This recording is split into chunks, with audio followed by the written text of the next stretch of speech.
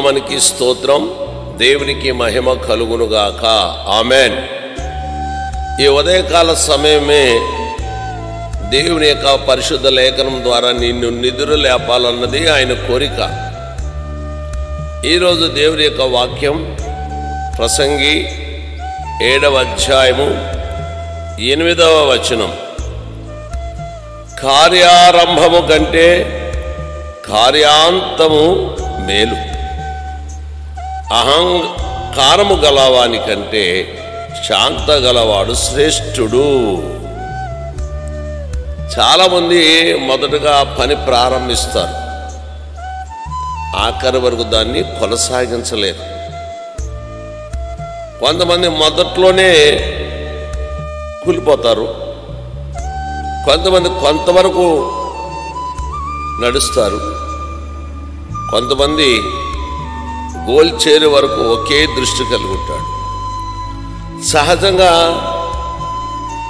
మానవ యొక్క లక్షణం బట్టి కార్యము ఆరంభము కంటే చూడండి ప్రారంభము కంటే అంతము వరకు ఒక గోల్ కలిగి ఉండాలి అంటే ఒక మనిషిలో విజ్ఞత విజ్ఞానం పట్టుదల ఏమైనను దాన్ని సాధించాలనే ఆ పట్టుదల కలిగిన కోరిక అతను హృదయంలో ఉండాలి. చాలామంది మొదలుగా దేవుళ్ళకి వస్తారు బైబిల్ తీసుకుంటారు ఓ ప్రసంగాలు చేయాలని ఆరాటం కలిగి ఉంటారు. చాలా దినాలు మీటింగ్లో వెళతారు చాలా చాలా చాలా బాగుంటారు. కానీ మధ్యలో వాడు పడిపోతారు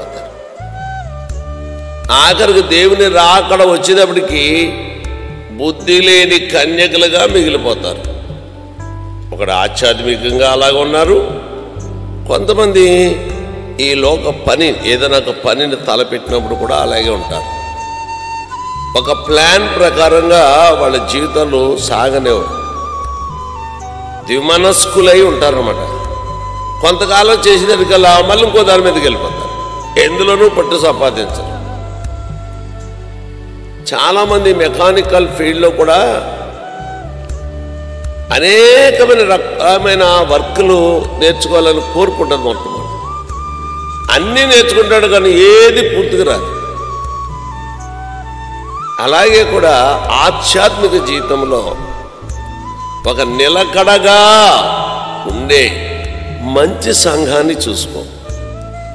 పరిశుద్ధాత్మ సంఘమును పరిశుద్ధాత్మతో వాక్యము చెప్పే సంఘాన్ని నువ్వెన్నుకో పరిశుద్ధాత్మ దేవుడు ఆ సేవకుడిలో ఉండి నేను కడవర వరకు నడిపిస్తాను నేను ఆధ్యాత్మికంగా చెప్తున్నాను. ఇక్కడ ఎవరేదో అన్నారని మళ్ళీ వేరే సంఘంలోకి వెళ్ళి అక్కడేదో అన్నారని వేరొక సంఘం ఎందుకు పనికి రాకుండా పోతానమాట ఆఖరికి దేవుని రాజ్యమునకు వారసుడుగా ఉండలేవు. ఎన్ని కష్టములు వచ్చినా అలాగే అటువంటి నువ్వు ఎన్నుకున్నప్పుడే మంచి సంఘం నేను ఒక చిన్న సాక్ష్యం ఒక దైవశాకుడు గురించి చెప్తున్నాను నేను. ఆ దైవశాకుడు చలమైన బలమైనటువంటి వాక్యోపదేశకుడు ఇప్పటికి కూడా ఆయన వాక్యము చాలా చక్కగా బోధిస్తున్నారు. అయితే ఒక రోజున సైతానుడు ఏం చేశాడంటే ఆ సంఘ బిడ్డలే ఆ పాస్టర్ గారిని బయటికి గెలిచాడు అతను వెళ్ళిపోలేదట. తన సాక్షుల్లో చెప్పాడు. చర్చి దగ్గర చెప్పులు వదిలేతారు కదా అక్కడ మోకరించి ప్రార్థన చేసుకునేవాడంట. అయినా కానీ సంఘం వాళ్ళు తిడతా ఉన్నారు నీకు సిగ్గులేదా ఎందుకు వచ్చాను? ఎవరిని ఏమనలేదు. కొంతకాలం అయ్యేటప్పటికీ ఆ సంగస్సులే ఆ పాస్టర్ గారిని క్షమించమని చెప్పి లోన్ తీసుకెళ్ళి పెట్టాడు పట్టుదల. పరిశుద్ధ గ్రంథంలో ఎంతమంది భక్తులు వెళ్తున్నాడు పట్టుదల ప్రార్థన చేసి ఆఖరి గురి చేరే వరకు దేవుని రాజ్యం సమీపించే వరకు లేక ప్రభునందు నిద్రించే వరకు పట్టుదల కలుగుంటే నీకు దేవుని యొక్క బహుమానాలు. మధ్యాకాశంలో వివాహ మహోత్సవంలో తీర్పు ఉంది. ఆ తీర్పులో కిరీటధారి అయి సమాజంలోంచి నిన్ను పిలుస్తాడు. గొప్ప బహుమతి ఇస్తాడు. ఆరంభము బాగా ఉంటుంది కానీ దీన్ని ఏమిటంటాడు?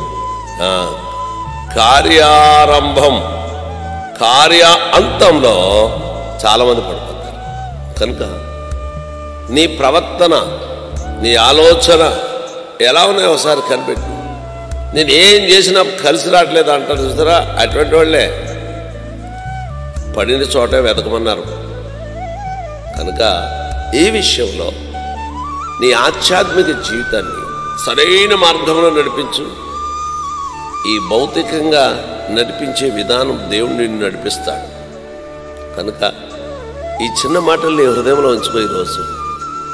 ఎందుకు ఫెయిల్యూర్ అవుతున్నావు? నీ అసమర్థతే. ఎందుకు అతడు గోల్ చేరే వరకు బాల్ వదలలేదు? పట్టుదల. అది నీలో లేదు చాలా మందిలో ముఖ్యంగా ఎవరి బిడ్డలకు చెప్తున్నాను. పట్టుదల ఉండాలి. ఆ గోల్ చేరాలి. కనుక అలా చేరులాగని దేవుని సహాయం నీకు నీ కుటుంబానికి నీ పిల్లలకి అటువంటి పట్టుదల కలిగిన ఆత్మాత్మ నీ మీదకి వచ్చునుగాక. దేవుడు ఈ మాటలు నీ హృదయంలో స్థిరపరిచి ఉండుగాక. దేవుడు ఆయన నామానికి మహిమ తెచ్చుకునుగాక. Amen amen. ఎక్కువైపోయిందా?